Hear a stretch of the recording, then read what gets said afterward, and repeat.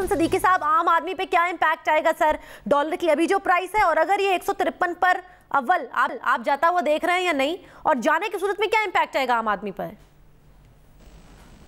دیکھیے اگر سٹے بازوں کو انکریج نہیں کیا گیا اگر ایکسپورٹرز نے اپنے پیسے نہیں روکے جیسا ماضی میں سٹے بازی ہوتی جی۔ رہی ہے اور کمرشل بینکس بھی سٹے بازی کرتے رہے ہیں اگر یہ نہیں کیا گیا تو میں یہ سمجھتا ہوں کہ یہ اگست سپتمبر کی جو بات کر رہے ہیں اس میں ایک سو تریپن روپے پر نہیں جائے گا۔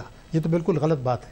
مگر اصل جو اس وقت مسئلہ ہے وہ یہ ہے کہ کولیشن گورنمنٹ جو ہماری آئے گی وہ پہلا کام یہ کرے گی اسٹرکچرل اصلاحات نہیں کرے گی ٹیکسوں کی چوری نہیں روکے گی اور طاقتور طبقوں پر ٹیکس نہیں لگائے گی بلکہ عوام سے کہے گی جناب معیشت تباہ ہو گئی ہے تو آپ پہلے قربانی دیں تین چار سال پھر مستقبل آپ کو سنہرا ہے۔ نمبر ایک۔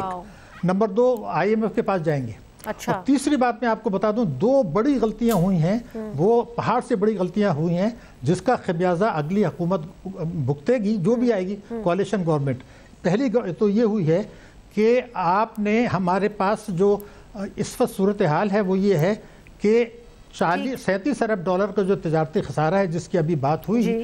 اس کو بیس ارب ڈالر کی ریمیٹنسز سے پورا کیا جا رہا ہے۔ اس میں سے دس ارب ڈالر سعودی عرب اور یو اے سے ہیں۔ وہ دونوں فائنینشل ایکشن ٹاسک فورس میں امریکہ کبھی بھی جو آپ نے سلامتی کی بات کی تھی اگر میں ایک جملہ پورا کر لوں اگر امریکہ یہ ڈالتا ہے تو ہماری سلامتی کے ہم معیشت ہماری ہل جائے گی۔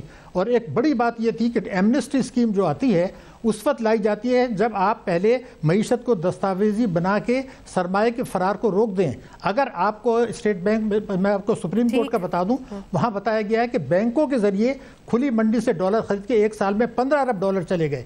تو ایمنسٹی سے پہلے اگر آپ نے قانون سازی نہیں کی جو کہ نہیں کی اور ایمنسٹی لے آئے اور سپریم کورٹ نے بھی اس کو نوٹ دے دیا۔ اس کے اتنے سنگین نتائج آپ کو ملیں گے۔ دو ہزار نو انیس میں مہنگائی بڑھے گی اشیاء صرف کی قیمتیں بڑھیں گی شرح سود بڑھے گا قرضوں کا حجم بڑھے گا اور معیشت کی شرح نمو سست ہوگی۔